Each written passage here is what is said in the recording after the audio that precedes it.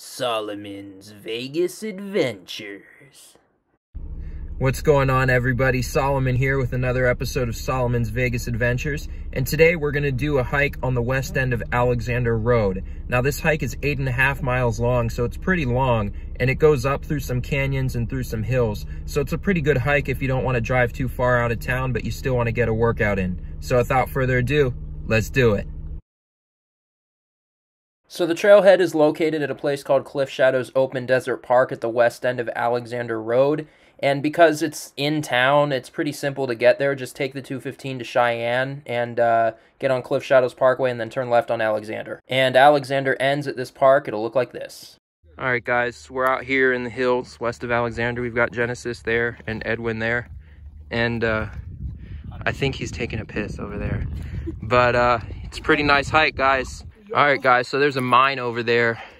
And what they mine over there is gypsum and limestone just for cement and just for plastering and drywall and stuff. And as you can see, it's a pretty, pretty view. I'm fine here. He's uh he's begging for camera time, so there you go. There you go. so we're going up the hill. Nice view. Down into a canyon.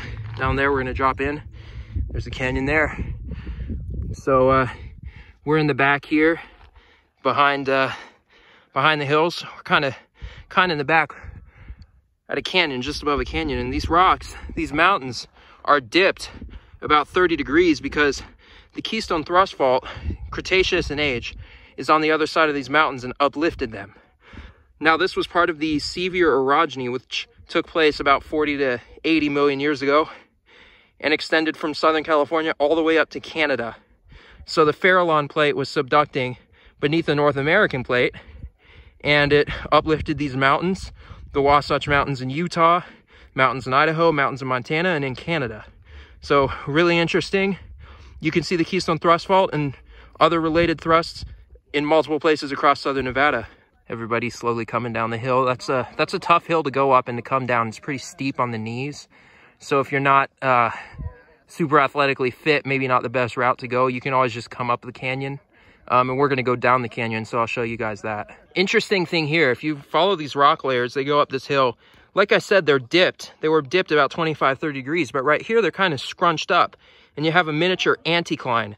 So an anticline occurs when there's a, a process called thin skin deformation, where these sedimentary rocks basically get crumpled up together to form anticlines and synclines.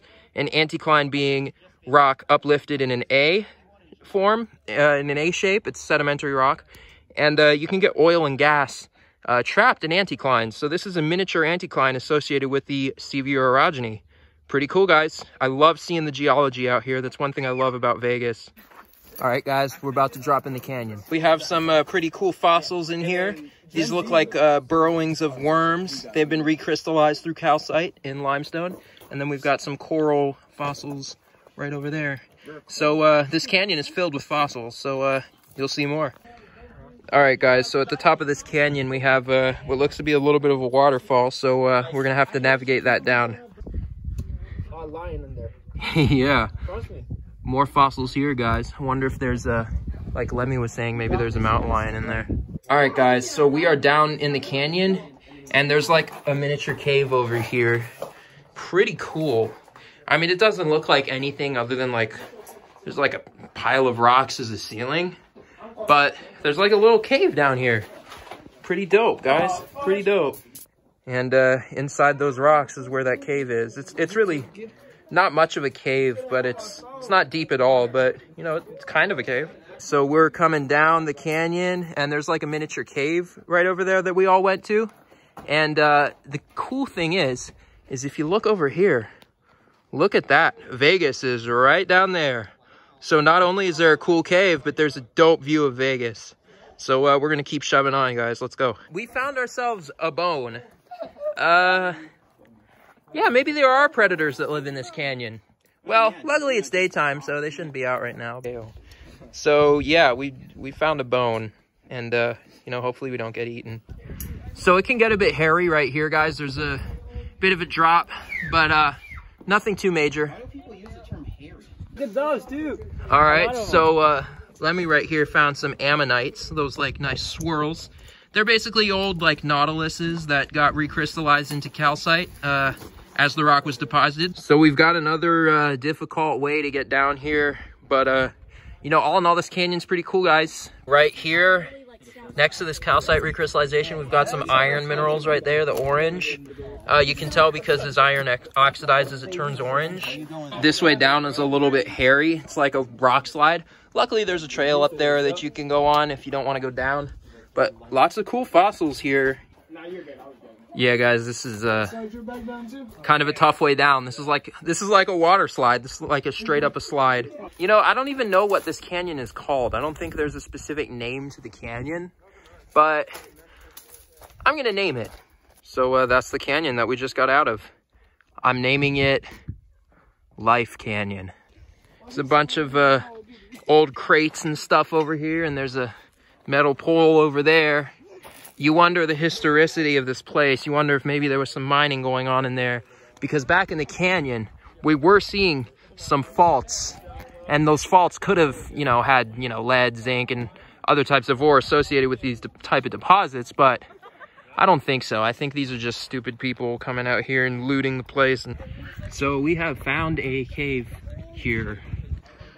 Okay, guys, this is creepy. It seems like this is somebody's house. It seems like somebody has made this cave their abode. This is obviously somebody's camp, somebody's house. We have a sleeping bag, pad, a pillow, some working out gear, some food, socks, the fire ring, there's a book and some charger back there. This is actually like somebody's house. This is creepy.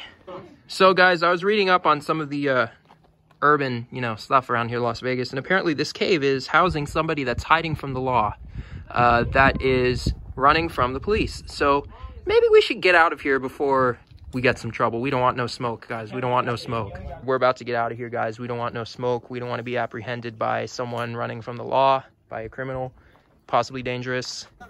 There's some uh, there's some weed graffiti on this rock right here. All right, guys, so we reached a clearing right across the canyon from that cave where the weird homeless person is. Maybe he has dinner here, shit. So the name of the cave is Raul's Cave. And another interesting thing is there's a fault right there. There's a normal fault. You can see the offset. It's probably about a couple meters of offset. Um, and this was probably active during Miocene times, but you can see the offset really clearly in the rock layers right there. Nice view of the city though, guys. It's such a nice view. You can see Frenchman Mountain, Mount Wilson in Arizona, the Strip, and then Black Mountain right over there. Just want to show you guys how widespread this urban sprawl is. So these houses go up this valley all the way to the foot of the mountain and you know, a couple years ago even, there were no houses here, and it's just insane how rapid the development is expanding here in Las Vegas.